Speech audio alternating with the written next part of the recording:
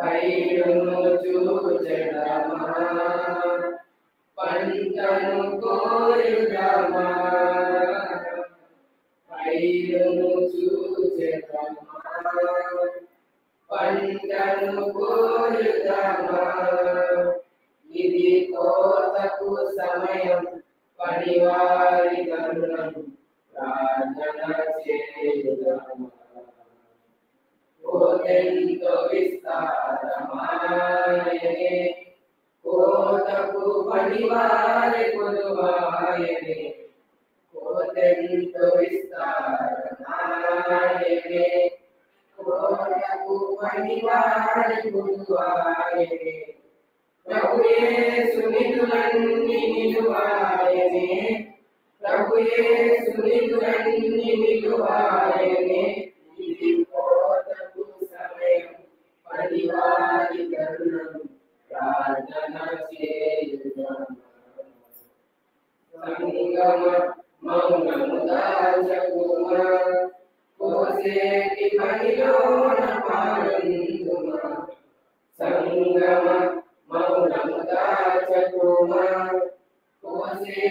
పనిలోన పాలందుమా యజమాని నిలువన్ని నీకే కదా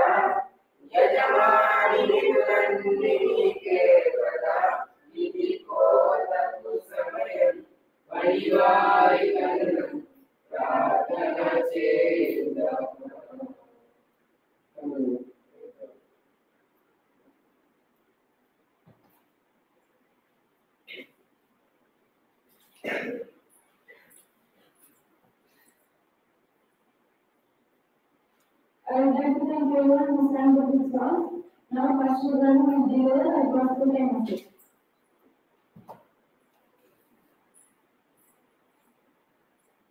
Thank you చక్కగా పాటలు పాడిన పిల్లలందరికీ చాలా వందనాలు ప్రభు మిమ్మల్ని దీవించి ఆశీర్వదించుగా ఇప్పుడు మన యొక్క కార్యక్రమాన్ని ప్రారంభం చేసుకుందాం మన కార్యక్రమం రెండు భాగంలో ఉంటుంది మొదటిగా సువార్త సమయం రెండవదిగా ఎక్లిషియా సమయం ఉంటుంది.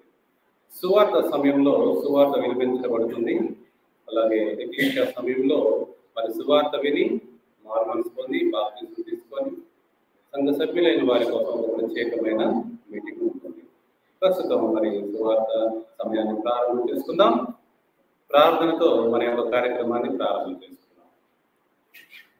పరలోకమందున్న మా ప్రియ తండ్రి నీ పరిశుద్ధ నామానికి వందనాలు ప్రభావ ఘనమైన దేవ ఆశ్చర్యకరడ అద్భుతకరడ ప్రేమమేడ దయామేడ నీ కృపను బట్టి నీ దయను బట్టి మమ్మల్ని అందరినీ దీవించి ఆశీర్వదించి క్షేమంగా ఉంచి. ఇలా నీ యొక్క పరిశుద్ధ దినంలో పరిశుద్ధ ఆరాధనలోకి ప్రవేశపెట్టిన విధానాన్ని బట్టి నీకు వందనాలు స్తోత్రాలు చెల్లిస్తూ ఉన్నాను జీవాధిపతి జీవం కలిగిన తండ్రి మాకు ఇచ్చిన జ్ఞానమును బట్టి వందనాలు స్తోత్రాలు చెల్లిస్తూ ఉన్నాను తండ్రి నీ ప్రియకుమారుడు మా రక్షకుడు ప్రభైన యాశ్వమసయ ఈ లోకానికి వచ్చి సువార్త ప్రకటించి మరి అనేకులకు మారు మనసు కలుగు చేసి పాప క్షమాపణ కలుగు చేసి రాజ్యంలోకి ప్రవేశపెట్టిన విధానాన్ని బట్టి వందనాలు స్తోత్రాలు చెల్లిస్తూ ఉన్నాం. ఇంకా అనేక మంది ఈ లోకం యొక్క ఈతి బాధల్లో భయంకరమైన మానసిక శారీరక సమస్యల్లో ఇంకా మరి చిక్కుకొని ఉన్నారు ప్రభా. అందరూ అంతటా నీ యొక్క సువార్తను విని అర్థం చేసుకొని జ్ఞానంతో నీ యొక్క అద్భుతమైన జీవితాన్ని పొందుకోవడానికి నీ కృప అనుగ్రహించమని ప్రార్థిస్తూ ఉన్నాం. పరిశుద్ధమైన దేవా నీ నామానికి మహిమ ఘనతలో ఆరోపిస్తున్నాం తండ్రి. ఈ యొక్క సమావేశంలో వినిపించబడుతున్న ప్రతి మెసేజ్ ప్రతి మాటని నీ కృపలో దీవించండి ఆశీర్వదించండి. చేరు వారి కొరకు ఎవరికైతే మరి నిర్ణయించారో వారికి చేరినట్లు నీ కృప అనుగ్రహించండి ప్రభా. పరిశుద్ధుడమైన దేవ నీ కృప నీ దయని కోరుకుంటున్నాం ప్రభా. అందరూ అంతటా మారు మనసు పొంది నీ యొక్క వీరించు జీవాన్ని పొందుకోవడానికి అవకాశం అందరికీ కలిగించమని కోరుకుంటున్నాం తండ్రి. థ్యాంక్ యూ లాడ్ చేరువచ్చిన పిల్లలందరిని బట్టి వందనాలు. ఈ యొక్క సమావేశం ద్వారా మీరే మహిమ ఘనత ప్రభావం పొందుకోమని కోరుకుంటున్నాం మా ప్రియుడు రక్షకుడైన యోశవ మెస్సే నామంలో అతి వినయంగా వేడుకొని ప్రార్థిస్తూ ఉన్నాం తండ్రి. ఆమేన్ ఓకే uh, ఇప్పుడు మన సువార్త సమయంలోకి వెళ్దాం. గమనించండి యేసు ప్రభువారు శుభవార్త చెప్పారు. ఏం చెప్పారు? యేసు ప్రభువారు శుభవార్త చెప్పారు. అయితే ఆ శుభవార్త అందరి వద్దకు ఈ రోజున చేరడం లేదు. ఏమండి? ఆ శుభవార్త అందరి ఎందుకు చేరడం లేదు? గమనించాలి బైబుల్ ప్రకారం మన దేశం మన దేశం లాంటి దేశాలు లేకపోతే ఇజ్రాయెల్ కంట్రీ కాకుండా ఉన్న వేరే ఏ దేశాలైనా ఏమంటారు? అన్యజనుల దేశాలు అంటారు. అన్యజనులు అంటే పరాయి దేశం అండి. అన్యజనుల దేశం అంటే పరాయి దేశం. అంటే మన దేశం కాదు వేరే దేశస్తులు అని. అన్యజనులు అంటే ఏంటి? అన్యజనులు అంటే ఈ దేశంలో ఉన్న చట్టాన్ని పాటించడానికి అవకాశం లేదు వారు. వారు వేరే దేశస్తులు ఫారినర్స్ అన్యులు. ఇంకా మాట చెప్పాలంటే పరాయి దేశం వాళ్ళు పొరుగు వారు పొరుగు దేశం వారు. ఇంకా చెప్పాలంటే పరదేశులు.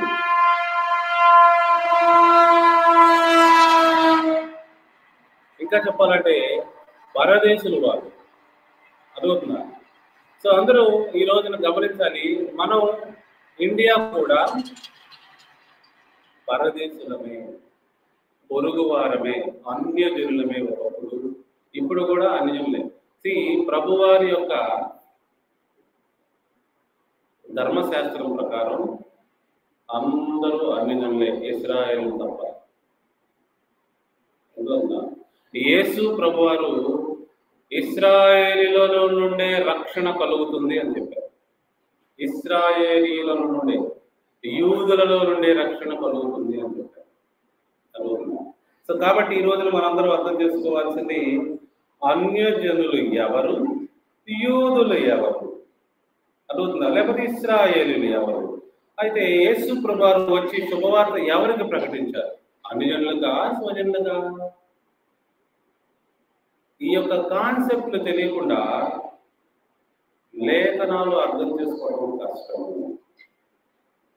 లేఖనాల ప్రకారం మనం ఆలోచించడం కష్టము ఈరోజు మీ ముందుకు నేను నిజమైన శుభవార్తను తీసుకొస్తున్నాను. యేసు ప్రభువారు నిజమైన శుభవార్తను ప్రకటించారు. ఆయన ఏమన్నాడంటే ముందుగా స్వజనుల వద్దకు వెళ్ళండి. సొంత దేశస్థులు మన దేశస్థులు ఇస్రాయేల్ లోపలికి వెళ్ళండి వారికి ప్రకటించండి. ఆ తర్వాత ఆయన మరణించి తిరిగి లేచి ఆరోహణైన తర్వాత మీరు అన్య జనుల యొద్దకు కూడా వెళ్ళి ఈ శుభవార్తను ప్రకటించుడి అని ప్రకటించారు. చూసారా? చాలా ప్లాన్ ప్రకారమే ప్రభువారు మరి నడుచుకున్నారు. ఒక ప్లాన్ ఉంది ఆయనకి అర్థమవుతుందా? అన్య జనులకు ఇప్పుడు శుభవార్త ప్రకటించడం వలన మనకు కూడా అవకాశం వచ్చింది. అన్య జనులకు శుభవార్త ప్రకటించబడలేదు అనుకోని మనకు అవకాశం వచ్చేది కాదు. ఇంతకీ ఆ శుభవార్త అన్య జనులకు ఏమి చెప్పారు ఎలా చెప్పారు? అదవుతుందా అన్య జనులు శుభవార్తను నమ్మడానికి గల కారణాలు ఏంటి? అన్య జనులు అసలు ఆ శుభవార్తని సరిగ్గా రిసీవ్ చేసుకున్నారా? స్వజనులు రిసీవ్ చేసుకున్నారా? ఈ రోజున మెసేజ్ వింటున్న వాళ్ళారా మీరు ఎప్పుడైనా యేసు ప్రభువారు శుభవార్త విన్నారా? నీకు ఎప్పుడైనా గుడ్ న్యూస్ విన్నారా? అసలు మీకు ఎవరైనా చెప్పారా ఎప్పుడైనా బైబిల్ కాదండి జనరల్గా. మీ బామర్ది చెప్పాడా? నీ భార్య చెప్పిందా? నీ భర్త చెప్పాడా? నీ ఫ్రెండ్ చెప్పాడు? ఎప్పుడైనా గుడ్ న్యూస్ అనేది విన్నారా మీరు? గుడ్ న్యూస్ అండి. చాలా మందికి గుడ్ న్యూస్ లేవు వారి జీవితాలు ఏమండి? చాలా మందికి గుడ్ న్యూస్ అంటే ఏంటో తెలియదు ప్రియా దేవుని బిడ్డలారా గుడ్ న్యూస్ అంటే ఏంటో కూడా తెలుసుకోవాలి. శుభవార్తలు కూడా లేవండి కొన్ని కొంతమంది జీవితాల్లో. శుభవార్త వినలేదండి ఇంతవరకు వారు. ఈ రోజున ప్రభువారు ఒకటే అంటున్నారు. నేను పరలోకం నుండి దిగి వచ్చాను. మీ అందరికి ఒక శుభవార్త ఉంది నా దగ్గర. మీకు ఉంది ఆ తర్వాత అన్ని జనులకు కూడా ఉంది. శుభవార్త ఉన్నది నా దగ్గర. ముందు అన్ని జనుల పరిస్థితి ఏంటో ఎందుకంటే మనం అన్ని జనులే కదా? ఈ అన్ని జనులు ఏం చేస్తారు? ఎలా ఉంటారు? వారి యొక్క పరిస్థితి మనకు తెలియాలండి. లేకపోతే ఏమవుతుంది? మనకి మన పొజిషన్ ఏంటో తెలియదు. అసలు అన్ని జనులు ఎలా బిహేవ్ చేస్తారో తెలియదు. చూడండి ఏం చేస్తారు చూడండి అన్ని జనులు ఏం చేస్తారు? అందరూ బైబిల్ తెరవండి. మతేసు వార్త ఐదో అధ్యాయంలోకి రండి. అన్య జనులు ఎలా ఉంటారు? ఎవరు వారు అన్య జనులు అంటే ఇప్పటికి కూడా ఇస్రాయేల్ నమ్మేది ఒకటేనండి వారికి ధర్మశాస్త్రం లేదు మాకు ధర్మశాస్త్రం ఉంది. వాళ్ళు నమ్మేది అంతే వారికి ఏమో ధర్మశాస్త్రం లేదు మాకైతే ధర్మశాస్త్రం ఉంది. ఏ ధర్మశాస్త్రము? చాలా మందికి అర్థం కాదు ధర్మశాస్త్రం అంటే ఏంటో. మోసే కొండపైకి ఎక్కి నలభై దినాలు అక్కడ ఉన్న తర్వాత ప్రభువారు తన సొంత ఏలితో రాతి పలకల మీద రాసిచ్చాడే ఆ ధర్మశాస్త్రము. సొంత ఏలుతో రాసించాడు. ఆ తర్వాత మోసే దాన్ని పగలబడితే మళ్ళా రాసించాడు. మరలా ఇచ్చాడండి సో ప్రియ దేవుని బిడ్డలరా దేవుని యొక్క ధర్మశాస్త్రం కలిగిన వారు ఇస్రాయేలు వాళ్ళు చాలా ప్రౌడ్గా ఫీల్ అవుతారు దాని గురించి. బయట వాళ్ళు ఎలా చూస్తారు? చాలా చీప్గా చూస్తారు. ఎలా అనుకుంటున్న వాళ్ళు? వీళ్ళకి ధర్మశాస్త్రం లేదు. ఆ, వీళ్ళకి ధర్మశాస్త్రం లేదు. మాకైతే ధర్మశాస్త్రం ఉన్నది. అన్నట్లుగా వాళ్ళు చూస్తారండి. చాలా చీప్గా చూస్తారు. మీరు జాగ్రత్తగా బైబిల్ని చదవగలిగితే జాగ్రత్తగా బైబిల్ని చదవగలిగితే అందులో క్లియర్గా రాయబడి ఉంది. ఇతరుల్ని ఇస్రాయేలీలు ఎలా ట్రీట్ చేసేవాళ్ళు? ఇప్పటికి కూడా వాళ్ళు అలానే ట్రీట్ చేస్తారు కొంత కొంతమంది. ఇప్పుడు మతేసు వార్త ఐదో అధ్యాయంలో రండి అన్య జనులు అంటే ఎవరు? వాళ్ళు ఏం చేస్తూ ఉంటారు? ఐదు నలభై ఏడు చూడండి. ఐదో అధ్యాయము నలభై ఏడో వచ్చినము మీ సహోదరులకు మాత్రమే వందనాలు చేసిన ఎడల మీరు ఎక్కువ ఏమి చేయుచున్న మీరు ఎక్కువ చేయుచున్నదేమి? అన్యజనులను అలాగే చేయుతున్నారు కదా. ఆ ప్రభు ఏమంటున్నాడు? అన్ని జనులకి మీకు తేడా లేదా? మీరు పరలోక రాజ్యంలో నుండి వచ్చిన ధర్మశాస్త్రాన్ని అనుసరించి నడుస్తున్నారు కదా. మరి మీకు అన్ని తేడా ఉండద్దా? వాళ్ళు ఏం చేస్తారంట? వారి కుటుంబస్తులకే వారి రిలేటివ్స్కే వాళ్ళకి తెలిసిన వాళ్ళకి మాత్రమే మరి వారు వందనాలు తెలియజేస్తారంట. ఏమండి? వారికి తెలిసిన వాళ్ళకి మాత్రమే వాళ్ళు కలుపుకుంటూ ఉంటారు. వందనం అంటే ఏంటి? Good morning. శుభం. శుభం తెలియపరుస్తాం. నీకు శుభం కలుగును గాక ఎప్పుడైతే మనం వందనాలు కానీ లేకపోతే గుడ్ మార్నింగ్ అని చెప్తున్నామో యాక్చువల్గా మీనింగ్ చాలా మందికి తెలియదు అయినా వందనం అనకూడదు వందనం అంటే ఏంటంటే థ్యాంక్స్ తెలియజేయడం. మీకు చాలా వందనాలు అయ్యాయంటే మీరు చేసిన మేలుకి చాలా థ్యాంక్స్ అని. మనం ఎవరైనా కనపడంగానే వందనాలు అంటారు. ఈ క్రైస్తవు దేనికో? ఏం చేశారు వాడు నీకు? ఎవరు మేలు చేశారా? వందనాలు కాదు అనాల్సింది. శుభం కలుగును కాక అనాలి. వాళ్ళ జీవితంలో శుభం కలగాలి. ఏంటి? వాళ్ళ జీవితంలో శుభం కలుగును కాక యాక్చువల్గా ట్రాన్స్లేషన్లో మారుతుంది మీకు తెలిసిన వాళ్ళకే మీరు మేలు కలుగును కాక శుభం కలుగును కాక అంటే అన్నిళ్ళు కూడా అలాగే చేస్తున్నారు కదా. మరి మీకు వాళ్ళకి తేడా ఏంటి? అంటున్నాడు ప్రభు అయిన యాశ్వా మెస్సే. సాక్షాత్ యేసు ప్రభు వారే మాట్లాడుతున్నారు. ఏమండి? సో నిజమైన దేవుని రాజ్య సభ్యులు అలా ఉండకూడదు. ఏమండి? కొంతమందిని ప్రేమించే వాళ్ళ ఉండకూడదు అని ప్రభు చెప్తున్నారు అలా అన్ని చేస్తారు. ఏంటి ఇప్పుడు మన మన దేశంలో కుల వ్యవస్థను చూసావా? అంటే మా కులపోడికే ఉద్యోగం ఇస్తాం. మా కులపోడినే దగ్గర పెట్టుకుంటాం. సి అది కూడా అంతే. అనుజనులు అలానే ప్రవర్తిస్తారు. సో కులం పాటించే వాళ్ళందరూ అనుజనులే మన దృష్టిలో. ఎందుకంటే వాళ్ళు మనుషుల మధ్య భేదాభిప్రాయాలు కలిగి ఉన్నారు. భేదం కలిగి ఉంటే వాళ్ళు పరలోక రాజ్య సంబంధులు కాదు. నెక్స్ట్ ఆరో అధ్యాయం ఏడో వచనం. మతయి ఆరు ఏడు. జాగ్రత్త చాలా వచనాలు చూపిస్తాను ఈ రోజున అందరూ ఫాలో అవ్వాలి ఆ, మీరు ప్రార్థన చేయనప్పుడు అన్యజనుల వలె వ్యర్థమైన మాటలు వచింపవద్దు. విస్తరించి మాట్లాడటం వలన తమ మనవి వినబడినని వారు తలంచుచున్నారు. నిజంగా అన్యజనులు చూశారు ఎప్పుడన్నా? వారు మైకుల్లో అంట విస్తారంగా ప్రార్థన చేస్తారంట. ఎప్పుడైనా చూసారా మీరు? పొద్దున్నే కానీ సాయంకాలం కానీ ఏమండి? ఎక్కడైనా బజార్లో కానీ ఊళ్ళో కానీ ఎక్కడైనా టీవీల్లో కానీ చూసారా? ఒక అరగంట సేపు ప్రార్థన చేస్తారు మైకుల్లో. వాళ్ళు ఏమనుకుంటారంటే వీళ్ళు అన్ని జనులు అంట. వీళ్ళు అనుకుంటారంటే విస్తారంగా ప్రార్థన చేస్తే ప్రభు మన మన వింటాడు అని. అలా అన్ని అనుకుంటారు మీరెందుకు చేస్తున్నారు? అర్థమైంది ఇప్పుడు? అన్ని జనులు ఎవరో స్వజనులు ఎవరో అర్థం చేసుకోవాలి ఇప్పుడు. ఆ ఏడో వచనంలో నేనేమంటలేదు. మీరు ప్రార్థన చేయనప్పుడు అన్ని జనుల వలె వ్యర్థమైన మాటలు వచింపవద్దు. విస్తరించి మాట్లాడటం వలన వాళ్ళు అనుకుంటారు ప్రభు మన మనవి వింటాడు అనుకుంటారు. గంటసే ప్రార్థన తింటాడు తింటాడా ప్రభు? కన్నీళ్ళు గడిస్తే అంటే ప్రభువుని ఎమోషనల్గా పూల్ చేద్దాం అనుకుంటున్నారా? ప్రభు ఈ రోజు నేను అన్నం తినకుండా ప్రార్థన చేస్తా. నువ్వు నా మాట అంటావుగా అదేంటి? నిన్ను నువ్వు కర్రలతో కొట్టుకుంటే ప్రభు నీ మాట వింటాడా? చెప్పండి ఎలా వింటాడు మీ మాటలు? గొలుసులతో కొట్టుకుంటే అన్నం తినకుండా ఉంటే మీ మాట వింటాడా? ఎలా వింటాడు మీ మాట? ఎక్కువగా ప్రార్థన చేస్తే వింటాడా? గంట నుంచి చేస్తున్నావయ్యా. ఇంకా రావేంది? ఇంకా నా పని అవదేంది? అంటే ఎక్కువ చేసి ఆయన కూలు చేద్దాం అనుకుంటున్నారా? అలా అన్ని జనులు అనుకుంటారంటే మీరెందుకు అనుకుంటున్నారు? అని మరి యేసు ప్రభు స్వయంగా అన్న మాటలండి నా మాటలు కాదు. ప్రార్థన ఎంత ఎక్కువ చేసావన్నది కాదు. ఈ రోజున చాలా మంది బుద్ధిహీనులు ఉన్నారండి. అయ్యో రెండు నిమిషాలు ప్రార్థన చేశాడే. అయ్యో ఒక నిమిషం ప్రార్థన చేశాడే. అబ్బో ఆ పాస్టర్ గారు అయితే అరగంట చేస్తారు. బుద్ధిహీనులకు తెలియదు ప్రార్థన ఎంత లెంగ్త్ ఉన్నది కాదు. ఎనభై సంవత్సరాలు తొంభై సంవత్సరాలు జీవించావా అన్నది కాదు లెక్క. ఎంత ఎఫెక్టివ్గా జీవించావు? నీ ప్రార్థనలో ఎంత నీతి ఉన్నది? అది ముఖ్యము. నీతిమంతుల ప్రార్థన బహుబలము గలది. చాలా మందికి ప్రార్థన చేయడం కూడా రాదండి. ప్రార్థన చేయడం అంటే మాట కార్యక్రమంగా మాట్లాడదాం అనుకుంటారు. లొడ లొడ లొడ లొడ లొడ లొడ ఒకదాని తర్వాత ఒకదాన్ని మాట్లాడితే "ఓ, భలే ప్రార్థన చేస్తున్నాడే. అస్సలు సూపర్గా చేస్తున్నాడే. అదే నొక్కులు నొక్కులుగా ఆగాగి ప్రార్థన చేశారు చూసారా ఇంక ప్రార్థనే రావట్లేదు.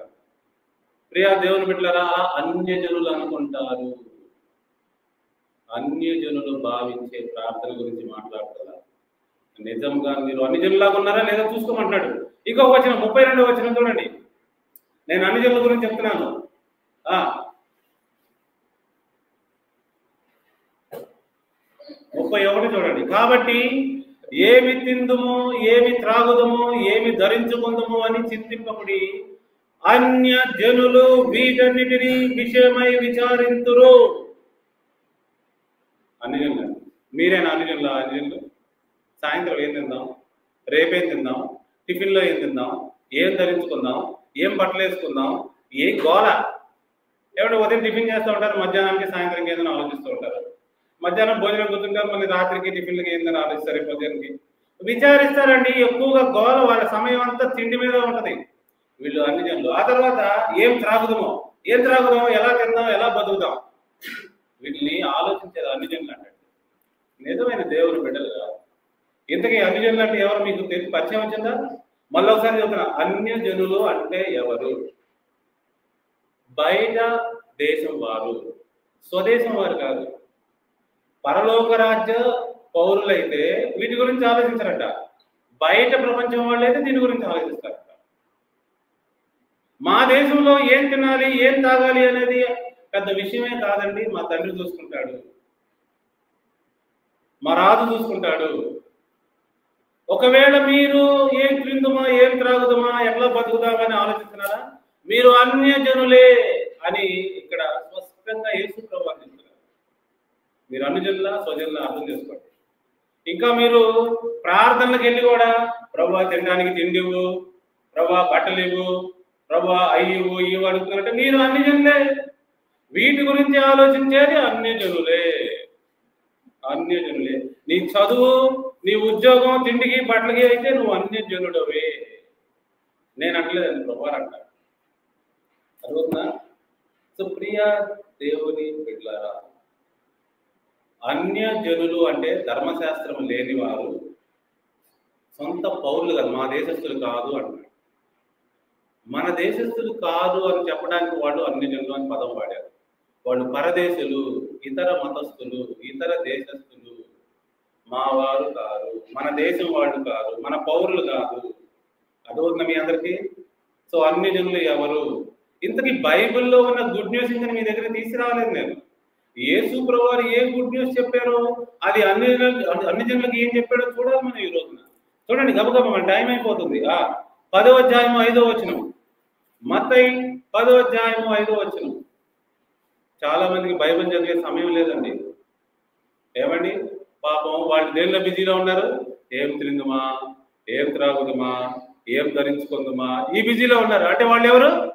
అన్యజనులు. అన్యజనులకి బైబుల్ చదవడం కానీ మరి అందులో ఉన్న కాన్సెప్ట్లు గ్రహించడం కానీ అవి చేయడానికి సమయం లేదండి.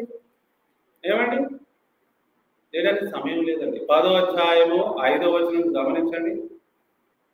యేసు పన్నెండు మందిని పంపచు వారిని చూచి వారికి ఆజ్ఞాపించినది ఏమనగా మీరు అన్య జనుల దారిలోనికి వెళ్ళకుడి. అదండి. మీరు ఇప్పుడే అన్ని జనులకు ప్రకటించద్దు. సువార్త అన్ని జనుల వద్దకు వెళ్ళొద్దు అని చెప్తున్నాడండి ప్రభు ఇంకా ఏం చెప్పాడు చూడండి అక్కడ. ఏం చెప్పాడంటే సమరయ్యే పట్టణములోనైనను సమరయంలో ఏ పట్టణంలోనైనను ప్రవేశింపకుడు గాని ఇస్రాయేల్ వంశంలో నశించిన గొర్రెల వెళ్ళుడి? వెళ్ళుచు దేవుని రాజ్యము సమీపించి ఉన్నదని ప్రకటించుడి. రోగులను స్వస్థపరచుడి. చనిపోయిన వారిని లేపుడి. కుష్టి రోగులను శుద్ధులుగా చేయుడి. దెయ్యములను వెళ్ళగొట్టుడి. ఉచితముగా పొందిరి. ఉచితముగా వీయుడి ఇదండి పన్నెండు మంది శిష్యులకి మరి ప్రభు వారు చెప్పింది. మీరు వెళ్ళండి. ఇది ఫస్ట్ కమాండ్మెంట్ అన్నమాట. మీరు ముందు ఇస్రాయల్ కంట్రీ లోపలే వెళ్ళండి. వెళ్ళేసి ఏం చేయమంటున్నాడు? చూసారా? అన్ని జనుల దగ్గరికి మాత్రం వెళ్ళొద్దు. ఆ వెళ్ళి పరలోక రాజ్యం ప్రవేశించింది వచ్చేసింది ఇక్కడ వచ్చిందని చెప్పుడి. ఏమంటే అదే అక్కడ రాశాను చూడండి. పైన రాశాను చూడండి. పరలోక రాజ్యం సమీపించి ఉన్నదని ప్రకటించుడి. పరలోక రాజ్యం సమీపించింది వచ్చేసిందండి ఇప్పుడు భూమి మీద ఉంది. ఎందరైతే అందరైతే మరి ఆ పరలోక రాజ్యాన్ని మరి గుర్తించగలుగుతారో? వారందరూ అందులో ప్రవేశిస్తారు. ప్రవేశించిన వారికి ఏమి తిందుమా ఏం త్రాగుదమా ఏం ధరించుకుందామా ఇవన్నీ ఉండదండి ఇంకా.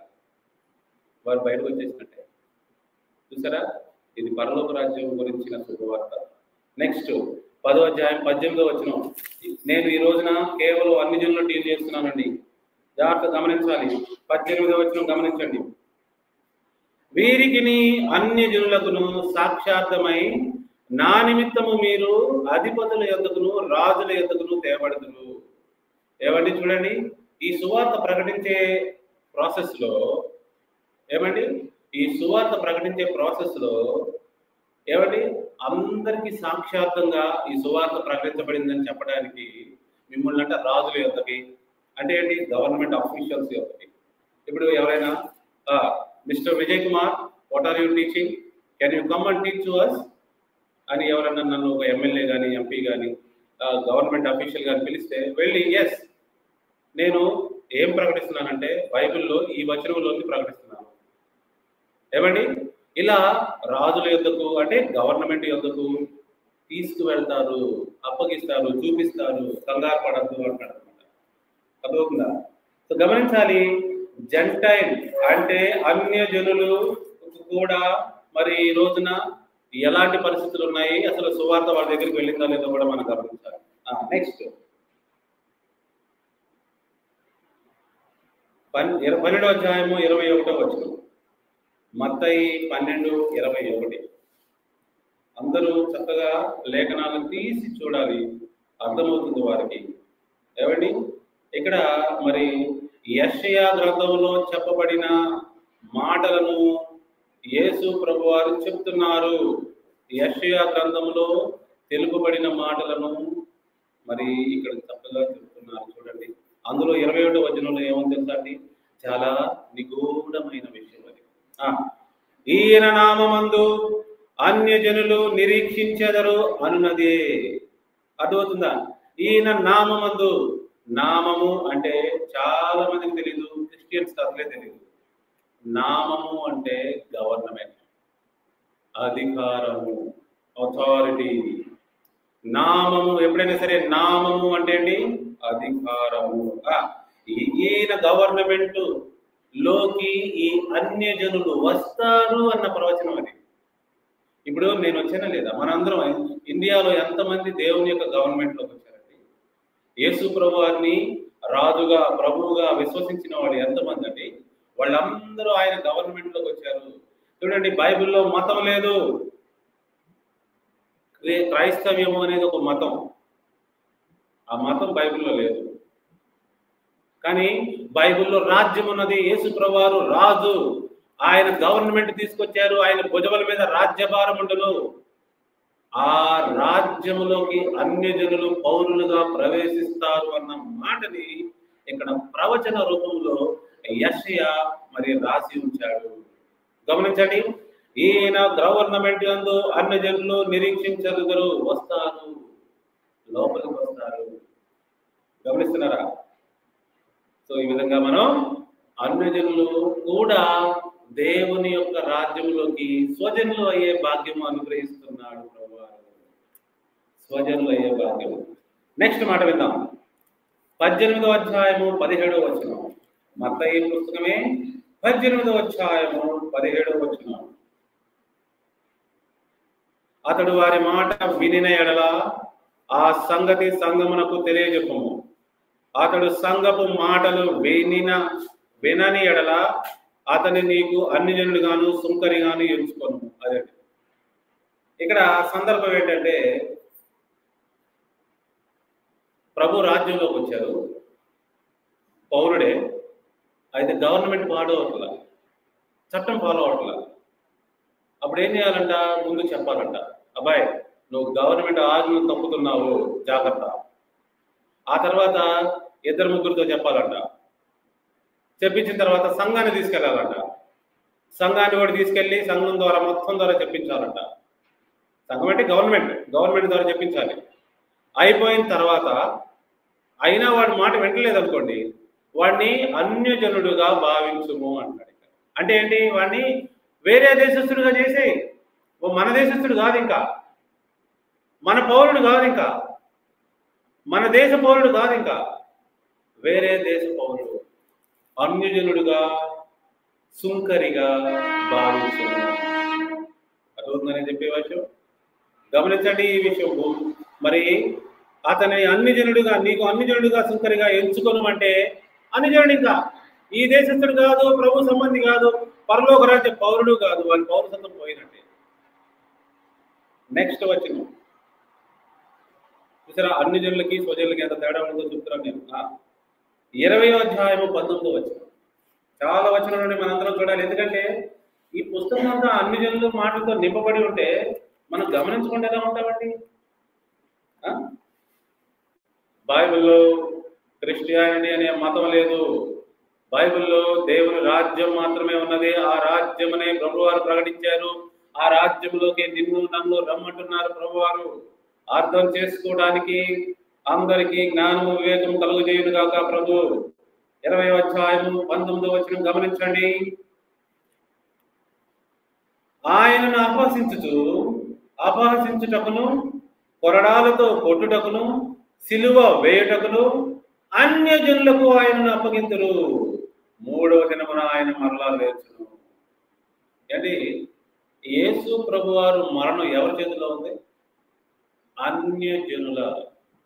చూసారు అక్కడ? యేసుప్రభు స్పష్టంగా చెప్తున్నాడు. ఏమండి? మరణ శిక్ష విధిస్తారు కొరడాతో కొట్టిస్తారు సిలువ వేయటం అంటే ఉరి శిక్ష లాంటిది. రోమా ప్రభుత్వంలో పెద్ద శిక్ష అండి? ఉరి శిక్ష లాంటి మనకు ఉరి శిక్ష కదా పెద్ద శిక్ష. అలానే వాళ్ళకి సిలువ వేయటం. అంతేగాని సిలువ వేశారు కాబట్టి సిలువను పూజించమని కాదు. సిలువను మెడలో వేసుకొని తిరగమని కాదు. ఏమండి? సిలువ మరణము క్యాపిటల్ పనిష్మెంట్. ఉరి శిక్ష లాంటిది. మన దేశంలో ఎలాగైతే ఉరి శిక్ష ఉందో ఉరి శిక్ష వేసిన వాళ్ళందరికీ ఉరితాడు తీసుకొని మెడలో తిరుగుతాం మనం. లేకపోతే ఉరితాడిని పూజిస్తావా?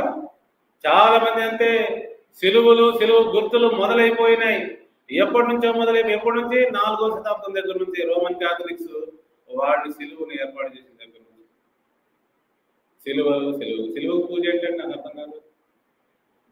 సిలువ గుర్తయిపోయింది. సిలువ గుర్తయిపోయింది. సిలువ గుర్తయిపోయింది క్రిస్టియానిటీకి. ఆ సిలువ వేయటకును అంటే మరణ శిక్ష వేయటకును అన్య జనులకు అప్పగించబడిను. అన్ని జనులు అంటే ఏం చెప్తున్నాను? జాగ్రత్త గమనించండి ఇక్కడ అన్ని జనుల యొక్క కాంటాక్ట్ ఏంటంటే వేరే ప్రభుత్వము అంటే రోమ ప్రభుత్వం.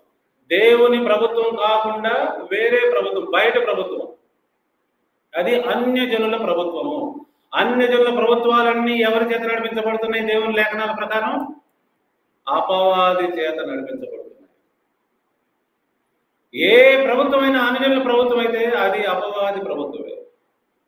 సో ప్రభువారు అపవాది చేతికి అప్పగించబడుతున్నాడు. ఏదన్నా చేసుకో నన్ను. చేసుకో అంటున్నాడు. ఎందుకో తెలుసుగా మనందరికీ? అపవాది యేసుప్రభు వారిని మ- మరణింపజేసి అంటే మరణ శిక్ష వేసి చంపి పార్టీ చేసుకుంటున్నాడంట. పార్టీ చేసుకున్న మూడు రోజులు పార్టీ చేసుకుంటుంటే మూడో రోజున మూడు రోజులు అయిపోయిన తర్వాత ఆయన బయటకు వచ్చేసరికి పార్టీ గల్లం అయిపోయింది ఇదేది మనం చంపేమనుకున్నాం ఆయన బయట తిరుగుతున్నాడేంటి బయటకు వచ్చేసాడేంటి? మరణపు ముళ్ళును విరిచేసాడేంటి ఆ విరిచేశాడు. సో అపవాదికి అపవాది గవర్నమెంట్కి తుస్ గాలిపో ఇంకేమన్నా ఉందా ఈ సంగతి మానవులకు తెలిస్తే? ఏమండి మన గ్రిప్పు పోద్ది కదా. మన గ్రిప్పు పోద్ది కదా అనుకున్నాడు అన్ని నెలలు. రారాజు అపవాది. అదే జరిగింది రోజున. కానీ వాడు తెలివిగా ఏం చేశాడంటే బైబుల్ని ఉపయోగించుకొని రిలీజియన్ స్టార్ట్ చేశాడు. మళ్ళీ త్రిప్పులోనే పెట్టుకున్నాడు. మళ్ళీ భయ మరణం అంటే భయంలోనే తీసుకొచ్చాడు. చూసారా? సో ప్రియా దేవుని పెట్టారా అన్య జనులు ప్రభువుని శిక్షించారు. అన్య జనుల దేవుడు అపవాది. తిరగలేదన్నమాట. అదొకటి అందుకే అన్ని జనులు అన్ని జనులు అనేది బైబిల్ అంతా. మీరు అన్య దేవతలను పూజించవద్దు. ప్రభువారికి అత్యంత కోపకరమైన విషయం ఏంటో తెలుసా అండి?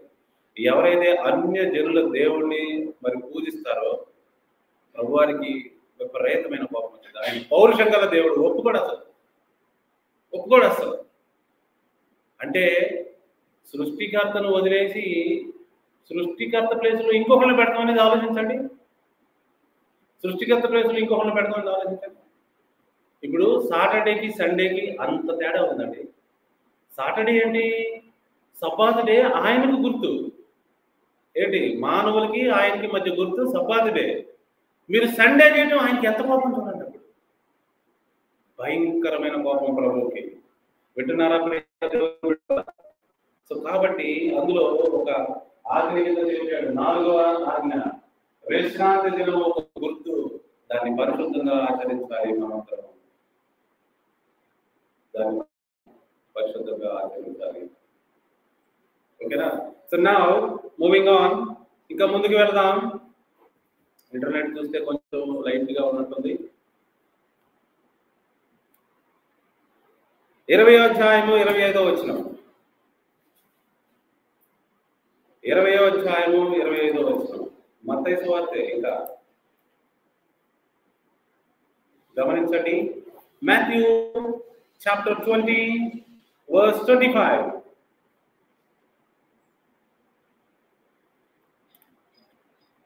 కనుక యేసు వారిని పిలిచి అన్య జనులలో అధికారులు వారి మీద ప్రభుత్వం చేయుదురు. వారిలో గొప్పవారు వారి మీద అధికారం చేయదురని మీకు తెలియను మీలో అలా ఉండకూడదు. మీలో ఎవడు గొప్పవాడై ఉండకూడనో వాడు మీ పరిచారకుడై ఉండవలను. మీలో ఎవడు ముఖ్యుడై ఉండకూడనో వాడు మీ దాసుడై ఉండవలను. ఆ దేవుని రాజ్యమునకు ఈ లోక రాజ్యమునకు డిఫరెన్స్ చెప్తున్నారు ప్రభు. తేడా ఉందండి. అన్యజనులకు స్వజనులకు తేడా ఉంది.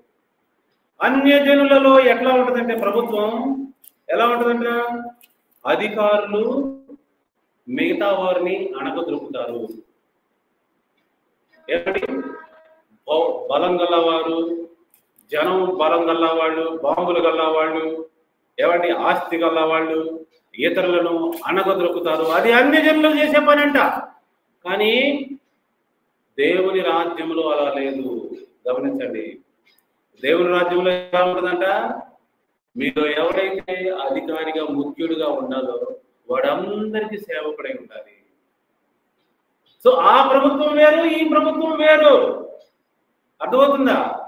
ఆ ప్రభుత్వం వేరు ఈ ప్రభుత్వం వేరు. అన్ని జనుల ప్రభుత్వం వేరు దేవుని ప్రభుత్వం ఈ రెండింటిని ఒకటే అనుకోబాకండి మీరు ఇంతవరకు అన్ని ప్రభుత్వంలో ఉన్నారు. మనం అందరం అంటే హిందూ దేశము లేకపోతే ఇండస్ వ్యాలీ కంట్రీ హిందూ అని కూడా అనకూడదు.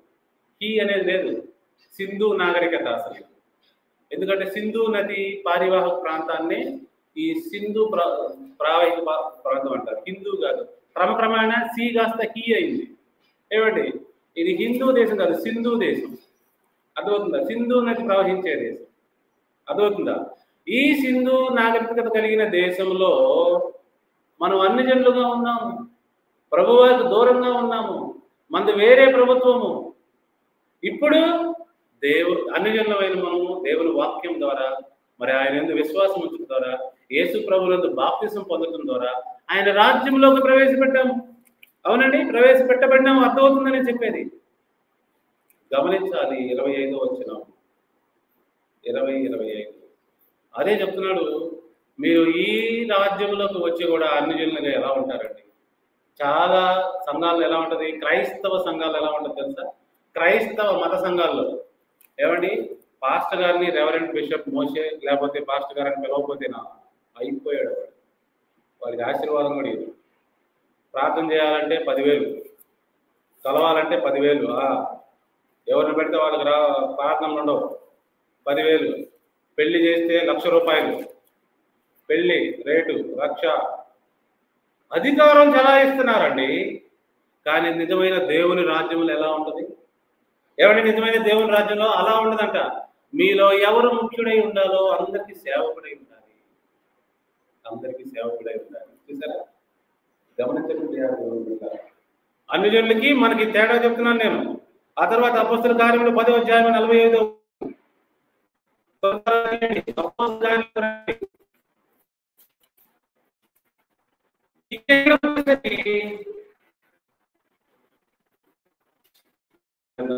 కొంచెం ఇంటర్నెట్ వీక్ అయినట్టుంది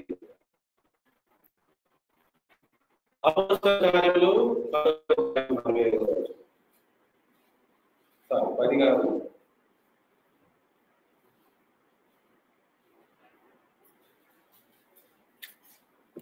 చూడండి.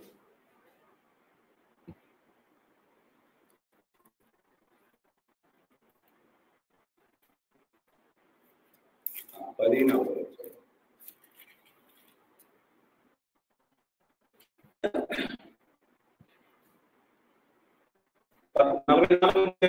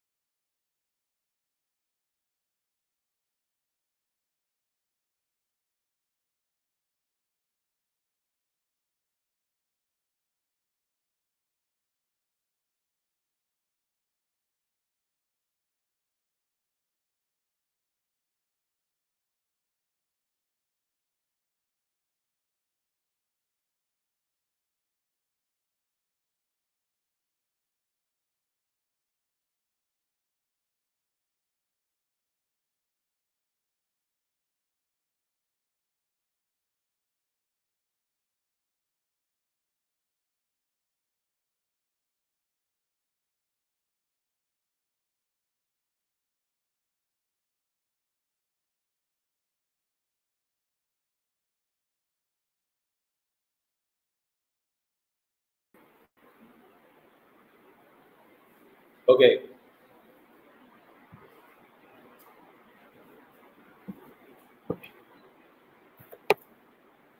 Welcome back. ఇంటర్నెట్ కొంచెం వీక్ అయింది అందుకే మళ్ళా బ్రేక్ తీసుకొని మళ్ళీ వచ్చాం. ఇప్పుడు అపోస్తుల కార్యంలో పదవ కార్యము నలభై ఐదో ఐదు వచ్చిన చూద్దాం. ఇక్కడ చూడండి అపోస్తుడైన పేతులు సడన్గా తన మనసును మార్చేసుకుంటున్నారు ఏం జరిగిందో చూడండి.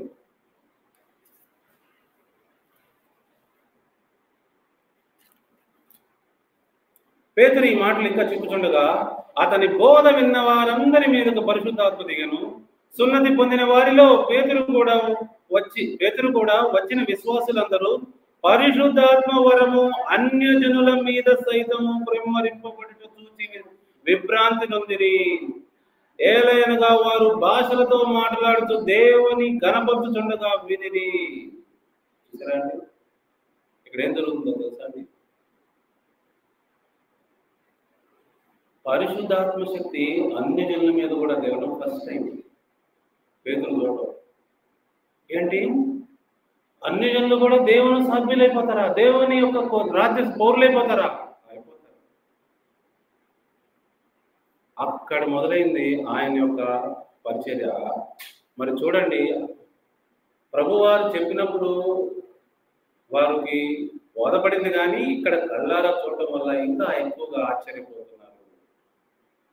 సో ఈ రోజున అన్యజనుల ప్రాంతంలో కూడా ప్రభు యొక్క బిడ్డలు ఉన్నారు. ఏమండి? ప్రభు యొక్క బిడ్డలు అంటే ఎవరో తెలుసా? మతస్థులు కాదు. దేవుని రాజ్య సంబంధులు దేవుని రాజ్య పౌరులు దేవుని రాజ్యంలోకి రావాల్సిన సిటిజన్స్.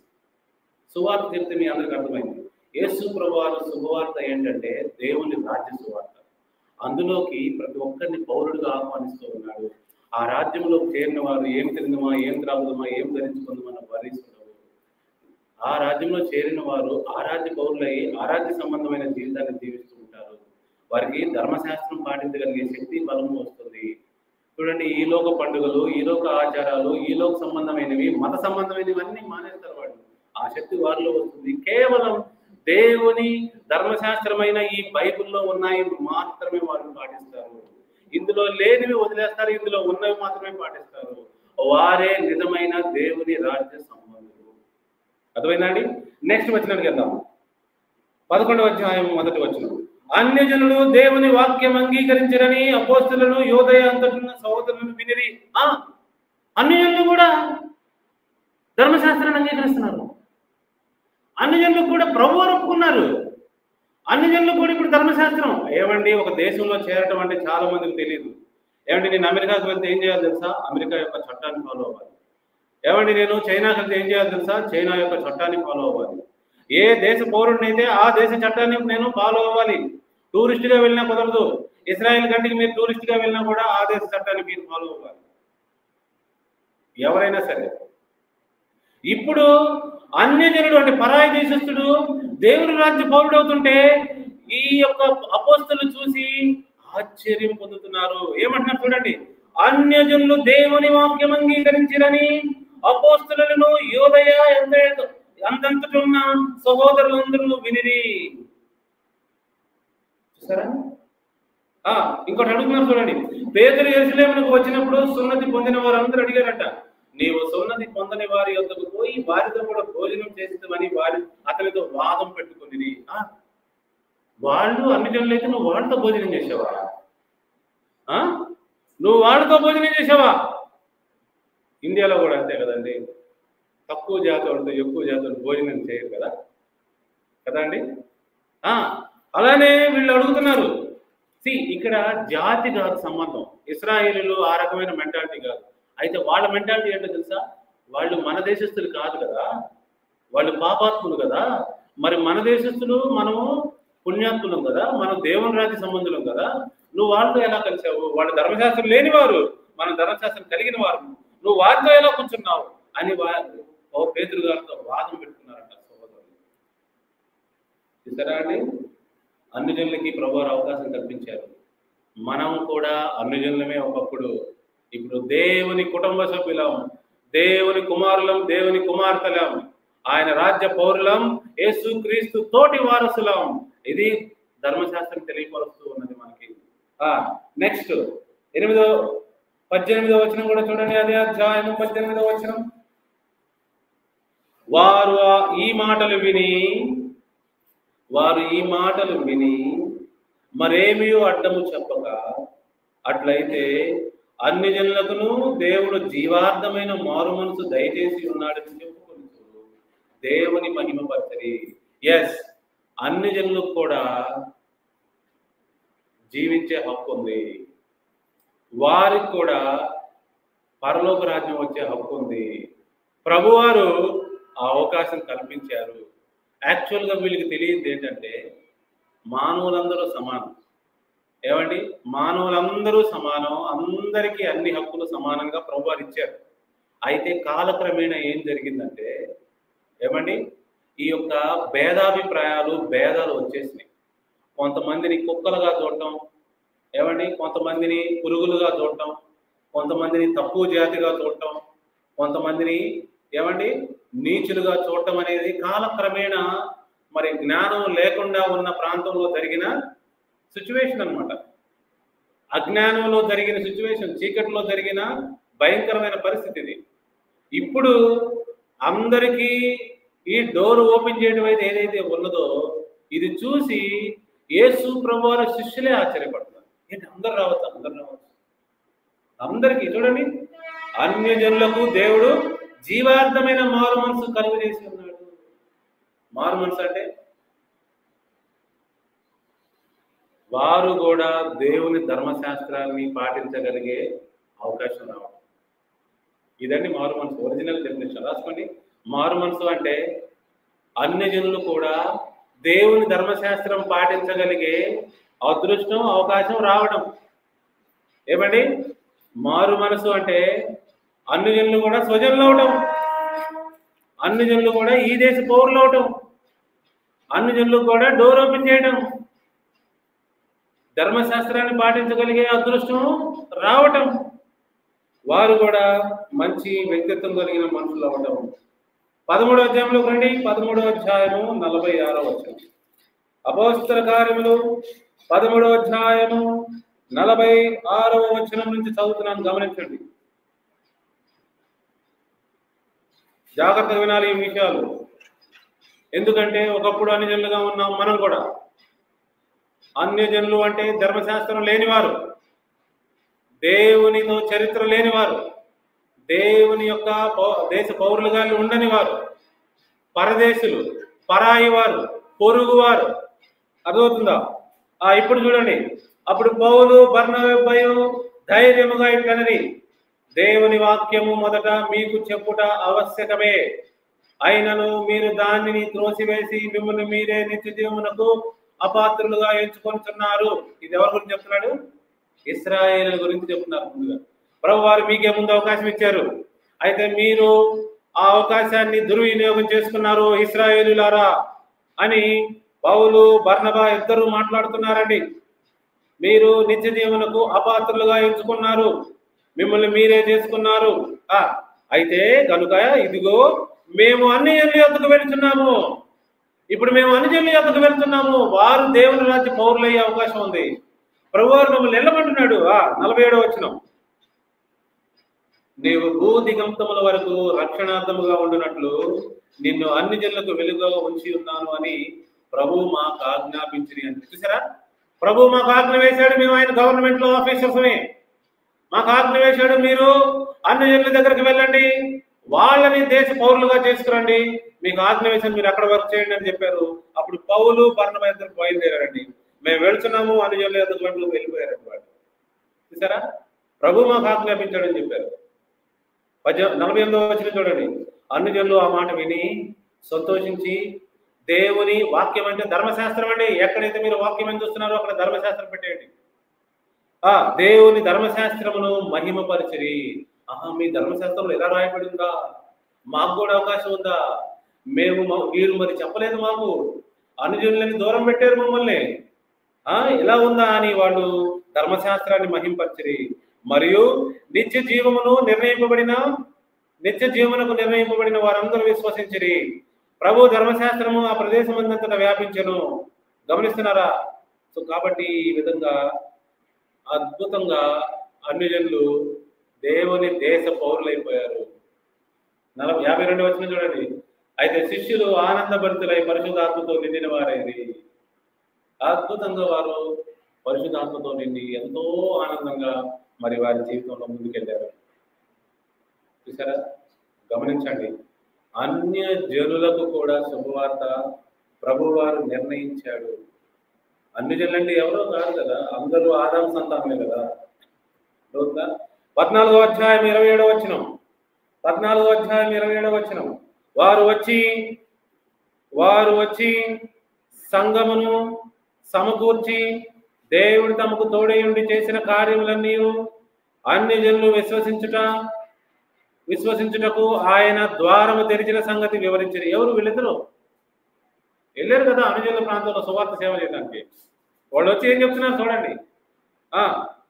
ఏం చెప్తున్నారు? జాగ్రత్తగా గమనించాలి. అన్యజనులు విశ్వసించడానికి ప్రభు వారి ద్వారం తెరిచారు. ఆ ద్వారం తెరిచి ఆ విషయాలన్నీ ఎలా సేవ చేసాం ఎంతమంది మరి ప్రభు యొక్క మార్గంలోకి వచ్చారు. ప్రభు యొక్క దేశంలోకి వచ్చి పౌరసత్వాన్ని తీసుకున్నారు. అందరు గురించి వివరించారంట వాళ్ళు వివరించి పిమ్మట వారు శిష్యుల యొక్క బహుకాలం గడిపిరి. ఏమంటే ఎక్కువ కాలం ఉన్నారంట అక్కడ. సో కాబట్టి మనందరూ ఈ రోజున అర్థం చేసుకోవాల్సింది. శుభవార్త అన్ని కూడా ప్రకటించబడింది. అన్ని జనులు ఎలా ఉంటారో చెప్తున్నాను. అన్ని జనులు ఎలాంటి భయంకరమైన పరిస్థితుల్లో ఉండాలని చెప్తున్నాను. అర్థమవుతుందా? సో ఇప్పుడు జాగ్రత్త గమనించండి. ఇంకా వచనాలు ఉన్నాయి నా దగ్గర. వాటిని గమనించడం వల్ల మనం అన్ని జనుల ప్రాంతం అంటే ఏంటి? స్వజనుల ప్రాంతం అంటే ఏంటి? ప్రభువారు ఎందుకు వచ్చారు ఈ లోకానికి? ఏ శుభవార్త ప్రకటించారన్న సంగతి కూడా మనకి క్లియర్గా అర్థమవుతుంది. అర్థమవుతుందా? ఆ, ఇప్పుడు చూడండి. పదిహేనవ అధ్యాయం పద్నాలుగు వచ్చిన గబగబా చూద్దాం. పదిహేనో అధ్యాయం పద్నాలుగో వచ్చిన అన్యజనులలో నుండి దేవుడు తన గవర్నమెంట్ కొరకు నామం అంటే గవర్నమెంట్ వాక్యం అంటే ధర్మశాస్త్రము నామం అంటే గవర్నమెంట్ అన్య అన్యజనుల నుండి దేవుడు తన నామం కొరకు అంటే గవర్నమెంట్ కొరకు ఒక జనమును ఏర్పాటు చేసుకున్నటకు వారిని ఎలాగో మొదట కటాక్షించను. సుమయాను వివరించి ఉన్నాడు. ఆ కింద ఆయన రాసిన ఆయన చెప్పిన ప్రవచన వాక్యాలు అక్కడ రాయబడి ఉన్నాయి. సుమియోన్ అనే ప్రవక్త చెప్పిన మాట. అర్థమవుతుందా సో గమనించండి ప్రియా దేవుని పిల్లల ఇవన్నీ చదివితే అద్భుతంగా ఉంటుందండి. ఇవన్నీ చదివితే ఇంకా అద్భుతంగా ఉంటుంది. ఆ పంతొమ్మిది వచ్చిన కూడా చూడండి. అన్ని జనులలో నుండి దేవుని వైపు తిరుగుతున్న వారిని మనము కష్టపెట్టక. ఏమండి? అన్ని జనుల నుంచి ఈ రాజ్యంలోకి వస్తున్న వారిని కష్టపెట్టకూడదు. ఏం చేయాలంటే వారిని? వాళ్ళ యొక్క కార్యక్రమాలు ఎలా ఉంటాయి చూడండి. అన్ని జనులు దేవునిలోకి రాకముందు వారికి ఉండే కార్యక్రమాల? విగ్రహ సంబంధమైన అపవిత్రత జారత్వమును గొంతు పిసికి చంపిన దాన్ని తింటాం రక్తాన్ని తింటాం. ఏమండి? ఇలాగ చాలా వారి దగ్గర ఉంటాయి. వాళ్ళ ఆచారాలన్నీ చండాలని ఉంటాయి. ఎందుకని వాళ్ళు చీకట్లో అజ్ఞానంలో బతికారు కాబట్టి వాళ్ళ ఇంట్లో ఆచారాలు కానీ వాళ్ళ బిహేవియర్ కానీ వాళ్ళ యొక్క పద్ధతులు కానీ ఏమంతా మంచిగా ఉండవు. అన్ని జనులవి. ఎందుకని? పాపం అజ్ఞానంలో బతికారు అక్కడే పుట్టారు అక్కడే పెరిగారు. వాళ్ళ తిండి వాళ్ళ తిప్పలు వాళ్ళ కట్టుబాట్లు వాళ్ళ ఆచారాలు అన్నీ మరి పాపము ఇష్టమే ఉంటాయి. అలాంటి వారికి చక్కగా చెప్పండి ఇలా చేయకూడదని చెప్తున్నారు. చూసారా? అన్ని జనులు లోపలికి చేర్చుకొని ఇదిగో ఇవి మానేయండి ఇట్లా చేయొద్దు. అదవుతుందా ఇలా చేయొద్దు అని మరి ప్రకటింపవలనని వాళ్ళ అభిప్రాయాన్ని వెళ్ళబుచ్చారు. ఇరవై ఒకటో వచ్చిన చూడండి. ఏలైనగా సమాజ మందిరములో ప్రతి విశ్రాంతి దినమున మోసే లేఖనములు చదవటం వలన మునపటి తరము నుండి అతని నీ నియమమును ప్రకటించేవారు ప్రతి పట్టణంలోనే ఉన్నారని చెప్పాను. ఆ రోజుల్లో కూడా అన్ని ప్రాంతంలో కూడా ఏమండి? దేవుని రాజ్య సభ్యులు అక్కడక్కడ ఉన్నారంట సమాజ మందిరాలు. అక్కడ ప్రతి విశ్రాంతి దినమున ప్రతి ఆదివారం కాదండి ప్రతి విశ్రాంతి దినమున మోసే లేఖనములు అంటే ఈ ధర్మశాస్త్రం అండి ఆది కాండం నుండి మాలాకి గ్రంథం వరకు ఉన్నదంతా ధర్మశాస్త్రమే. వాటిని మోసే మరియు ప్రవక్తలు అనవచ్చు. ఆ ఎక్కడున్నారంట? అట్లా చదివే వాళ్ళు ముందు నుంచి ఉన్నారంట అన్ని జిల్లా ప్రాంతంలో కూడా. అన్ని జిల్లా ప్రాంతంలో కూడా ఉన్నారంట అక్కడక్కడ. వీళ్ళే వెళ్ళారు యూదులు. నెక్స్ట్ వచ్చిన చూడండి గమనించండి అందరూ. ఇరవై ఒకటో అధ్యాయము ఇరవై నుండి ఇరవై ఆరు వరకు. అపోస్తుల కార్యములు ఇరవై ఒకటో అధ్యాయము ఇవన్నీ చదివితే కానీ మన యొక్క పరిస్థితి మనకి అర్థం కాదు. ఇరవై నుండి ఇరవై ఆరు వరకు. ఇక్కడ సందర్భం చెప్తా వినండి. పౌలు గారు ఏమండి?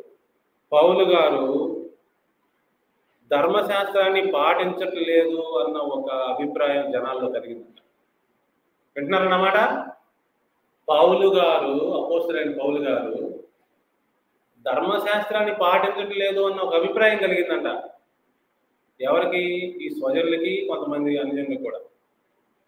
అయితే అందరూ గమనించాల్సింది ఏంటంటే ప్రభువ పౌరు గారు ఎందుకు పాటించరు ఆ దేశం యొక్క చట్టాన్ని ఖచ్చితంగా పాటిస్తారు కదా. మరి అది చేయడానికి ఏం చేశాడు మీకు ఈ సంగతి తెలియాలి. ఆయన ఏం చేస్తాడు తెలుసా? ధర్మశాస్త్రాన్ని నేను చక్కగా పాటిస్తున్నానని చెప్పడానికి కొంతమందిని వెంట పెట్టుకొని పోయి తల క్షౌరం చేయించుకొని ఏమండి? వారికి ఒక తగులుబడి పెట్టుకొని ఏమండి? వారికి కూడా ఈయనే డబ్బులు పెట్టుకొని ఏమండి? ధర్మశాస్త్రం నేను యథావిధిగా పాటిస్తున్నానని చూపిస్తాడండి. చూడండి ఆ వచనం చూడండి ఇరవై నాలుగో వచనం.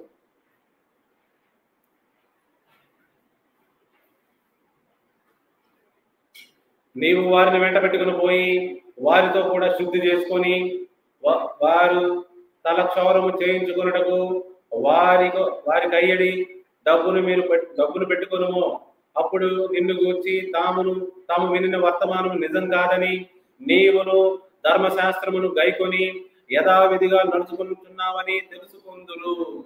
ఆ, కొంతమంది అభిప్రాయం వ్యక్తం చేశారు. ఈయన ధర్మశాస్త్రం పాటించలేదు. చాలా మంది అంటారు పౌరు గారు ధర్మశాస్త్రం కొట్టివేశారు ఇక్కడ ఆయన నేనే పాటిస్తున్నానని చెప్పేసి ప్రూఫ్ కూడా ఇస్తున్నాడు. ప్రూఫ్ అండి ధర్మశాస్త్రాన్ని ఆయన అసలు ఒక దేశంలో ఒక ధర్మశాస్త్రం ఉంటుంది అది పాటించకపోతే ఆ దేశ పౌరుడు ఎలా అవుతాడండి కామన్ సెన్స్ అండి. పౌలు గారు పరలోకరాజ్య సభ్యుడు పరలోకరాజ్య ధర్మశాస్త్రాన్ని ఎందుకు పాటించడండి? పాటిస్తున్నాడని నిరూపించాడు అర్థమవుతుందా? సో కాబట్టి ఇరవై ఆరో వచ్చిన కూడా చూడండి. అంతటి పౌలు మరణాడు మనుషులను వెంటబెట్టుకొని పోయి వారితో కూడా శుద్ధి చేసుకొని దేవాలయంలో ప్రవేశించి వారిలో ప్రతి వారి కొరకు కానుక అర్పించే వరకు శుద్ధి దినములు నెరవేర్చదమని తెలిపాను. ధర్మశాస్త్రాన్ని చక్కగా పాటించేవాడు పౌలు గారు.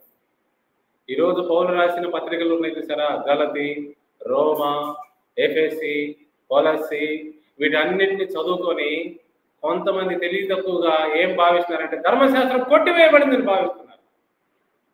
కనీసం ఈ వచనాలు చదివితేనన్న వారికి అర్థమైంది. ఇరవై అపోస్తుల కార్యములు ఇరవై ఒకటో అధ్యాయం చదవండి. బుద్ధి తెచ్చుకోండి ధర్మశాస్త్రాన్ని కొట్టివేయడం అసంభవం. అసంభవం జరగని పని అది. బైబిల్లో కొత్త నిబంధన పుస్తకాలు ఏ ప్రాతిపదికన యాడ్ చేశారో తెలుసా మీకు? ధర్మశాస్త్రంలో ఉన్న విషయాలు ఆ పత్రికల్లో ఉంటేనే తప్ప అవి కొత్త నిబంధన పుస్తకాలుగా తీసుకోలేదు. మరి ధర్మశాస్త్రం ఎలా కొట్టివేస్తారు మీరు? Common sense. మీరు చదవండి దేవుని యొక్క లేఖనాన్ని స్పష్టంగా అర్థం చేసుకోమని మనవి చేస్తూ ఉన్నాను నేను ఇంకొక వచనం గమనిద్దాం చూడండి. ఇరవై ఆరో అధ్యాయము ముగించుకుందాం. ఇరవై ఆరో అధ్యాయము పద్దెనిమిదో వచనం. అంతను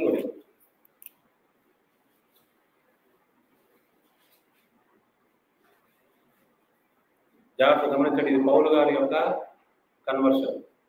పౌలు గారు సౌలు నుండి పౌలు అయి- మారిన పరిస్థితి యొక్క సందర్భం.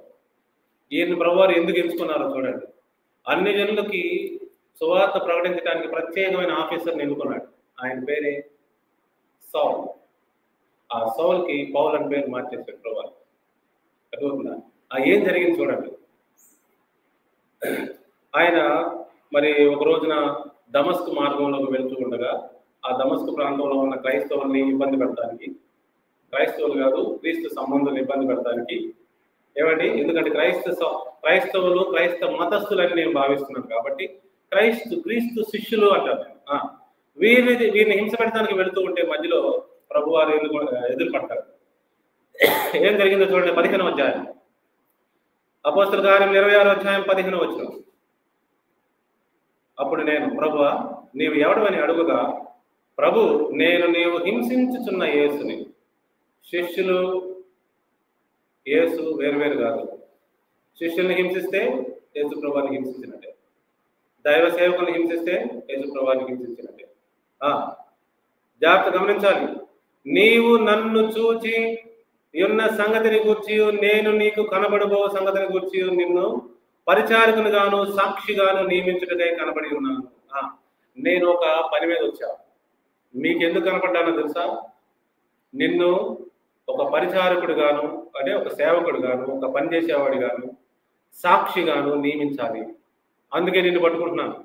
నిన్ను నియమిస్తున్నాను నేను. నీవు లేచి నీ పాదములు మోపి నిలువము. లే నిలబడు. వంకరగా ఉన్నావు ఇంకా. వంకరగా ఉన్నావు నీ జీవితంలో. లేచి నిలబడు. నేను ఈ ప్రజల వలన వలనను అన్ని జనుల వలనను హాని కలుగకుండా నిన్ను కాపాడిదను. ఈ ప్రజలు అంటే యూదులు. ఇస్రాయేల్ వల్ల కానీ అన్యజనుల వలన కానీ నీకే ఆపద రాకుండా నేను కాపాడుతాను. ప్రభు అంటున్నాడు ఆ నీ యొక్క డ్యూటీ ఏంటి? వారు చీకటిలో నుండి వెలుగులోనికి సాతాను అధికారం నుండి దేవుని వైపుకు తిరిగి నా అందరి విశ్వాసము చేత పాప క్షమాపణను పరిశుద్ధపరచబడిన వారిలో స్వాస్థ్యమును పొందినట్లు వారి కన్నులు తెరుచుటకు నువ్వు వెళ్ళాలి. ఇది ఆయన పని. ఇండైరెక్ట్గా ఏం చెప్తున్నాడు తెలుసా? అన్ని ప్రాంతంలో నుండి స్వజనుల ప్రాంతంలోకి వాళ్ళు తీసుకురావాలి. దాని అర్థం ఏంటో తెలుసా? చీకటిలో నుండి వెలుగులోకి తీసుకురావాలి.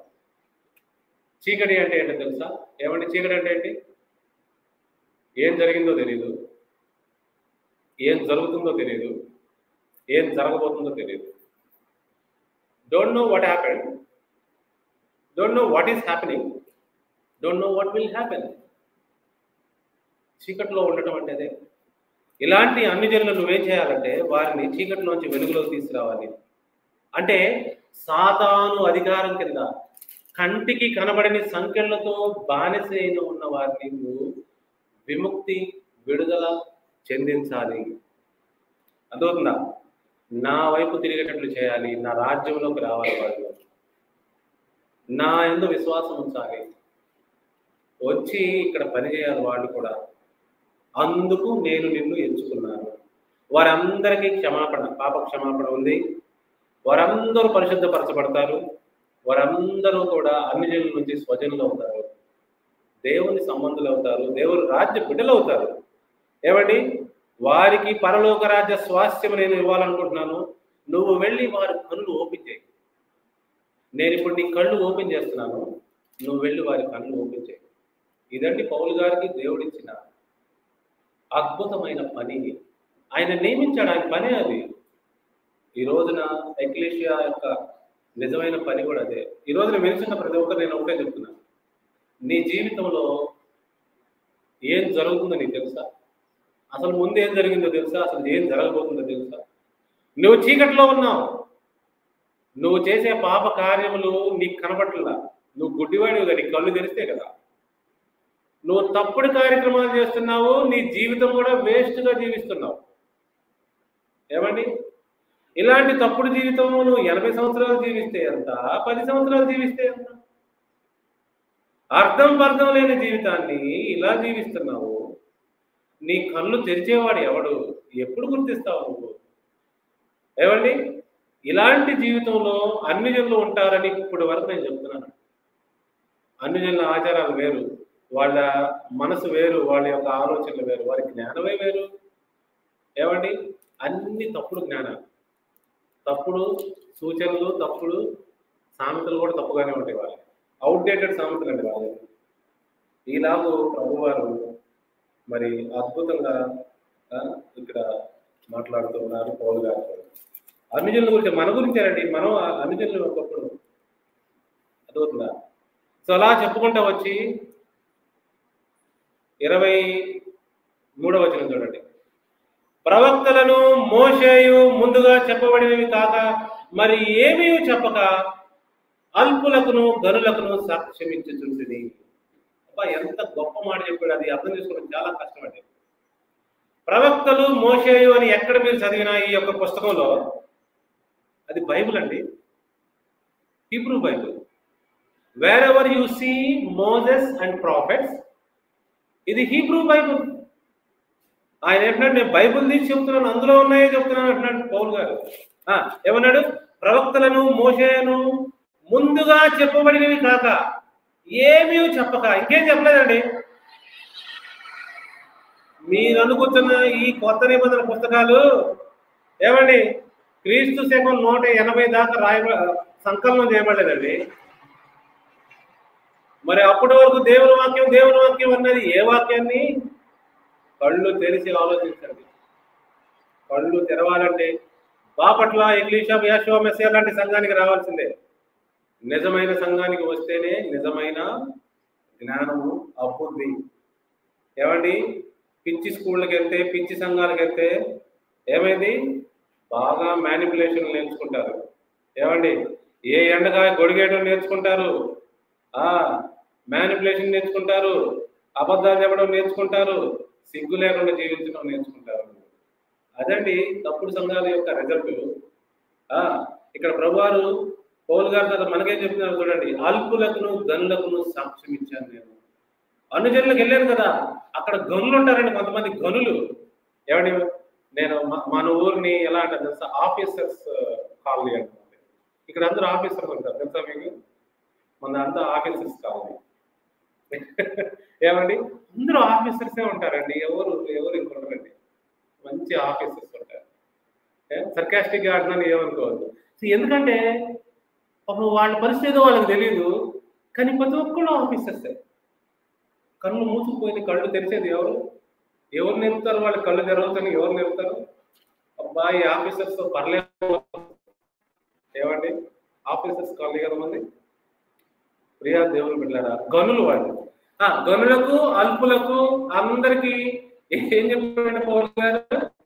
ఏమండి? బైబిల్లో ఉన్న విషయాన్ని చెప్పి సాక్ష్యం ఇచ్చాడు. ప్రూఫ్ చూపించడం అనమాట అనంటే సాక్ష్యం చూపించమనండి. నువ్వు పక్కన తిరగాడండి నువ్వు సాక్ష్యం చూపించావు. పక్కన పక్కన తానండి సాక్ష్యం చూపించండి అంటే పక్కన సాక్ష్యం చూపించు. అంటే ఏంటి? మీరు ప్రూఫ్ అడుగుతున్నారు. మరి ఇక్కడ పౌల్ గారు ప్రూఫ్ చెబుతున్నారు. నేను ముగిస్తున్నాను. జాగ్రత్త గమనించండి. ఇరవై ఎనిమిదో అధ్యాయం ఇరవై ఎనిమిదో వచ్చిన లాస్ట్ వరకు అపోతుల కార్యములు ఇక్కడితో ఎండ్ అవుతుంది? ఏమండి? ఇరవై ఎనిమిదో అధ్యాయం ఇరవై ఎనిమిదో వచ్చిన గమనించండి అందరూ.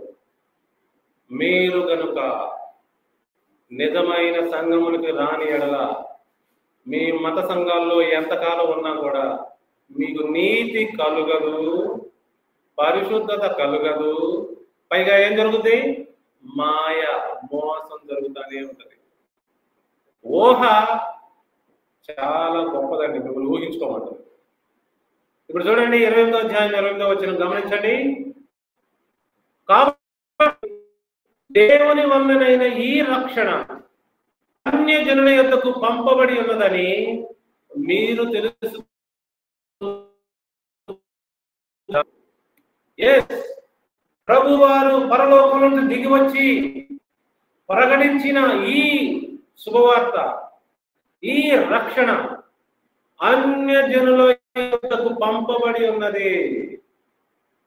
ఇస్రాయేలారా మీకు బుద్ధి లేదు. అందుకే మేము అదృష్టవంతులై ఉన్నాం. ఎక్కడో మారుమూల ప్రాంతంలోనండి. ఏమండి? తినుటకు తిండి లేక చేయుటకు ఉద్యోగం లేక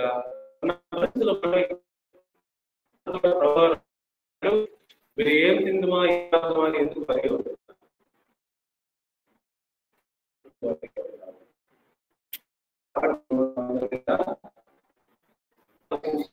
దేవుడి మార్గంలో అలా ఆలోచిస్తున్న మానవుల యొక్కకి యేసు ప్రభువారు రక్షణ సువార్తను పంపించారు. అసలు దేవుడు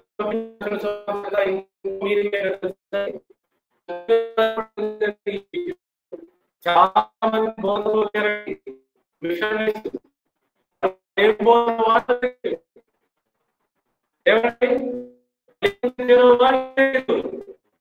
వాళ్ళకి రాజ్య సువార్త తెలియదు. దేవుని బట్టి మనం ప్రభావించుకున్నాం ఆలోచించండి అర్థం చేసుకుని యేసు ప్రభావం మీకోసం నా కోసం శుభవార్తను ఇక్కడ దాకా పంపించారు. అన్ని జనులకు కూడా అవకాశం ఇచ్చారు. దేవుడు ప్రతి ఒక్కరిని మరి తన యొక్క రాజ్యంలోకి ఆహ్వానిస్తూ ఉన్నారు ఈ రోజున. దేవుని రాజ్యంలోకి వచ్చిన వారి యొక్క పరిస్థితి వేరు అన్య జనుల పరిస్థితి వేరు. దేవుని రాజ్యంలోకి వచ్చిన వారి పరిస్థితి ఏమి తిందుమా ఏమి త్రాగుదమా ఏమి ధరించుకుందామా అనే వరి ఉండదు. వరి ఉంటే వాళ్ళు అన్ని జనులు అయిపోతారు. ప్రార్థన విషయంలో ఉపవాసాల విషయంలో అన్నిటి విషయంలో కూడా మీరు అన్ని జిల్లు వలె ప్రవర్తించద్దు. దేవుని బిడ్డల వలె ప్రవర్తించవలసిందిగా మనం చేస్తూ ఉన్నాము. ప్రభు మనందరినీ మరి ఈ చక్కని జ్ఞానంతో సువార్తను నమ్మి మారు మనసు పొంది ప్రభు యొక్క అద్భుతమైన రాజ్యంలోకి ప్రవేశించాలని మనం చేస్తూ ఈనాటి సువార్త సమయంలో నేను ముగిస్తున్నాను thank you for joining day మళ్ళీ